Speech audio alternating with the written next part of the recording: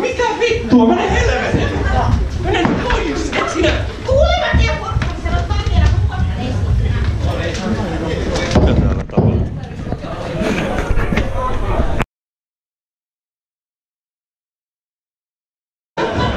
Onko muita, jotka haluaa, koska täällä on kyllä sitten niin henkilökunta kantelee tosi nopsaa ulos. Että...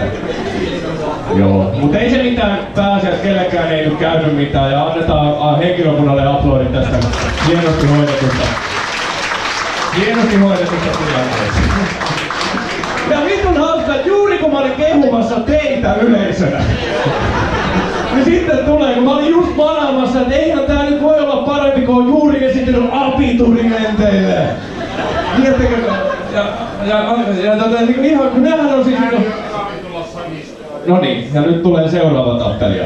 Ei mä tule vaan yksinkertaisesti, että se portsari vittu oli tota, noin mun eukolle aikaisemmin ja siitä tuli tää kaikki. Ei saatana.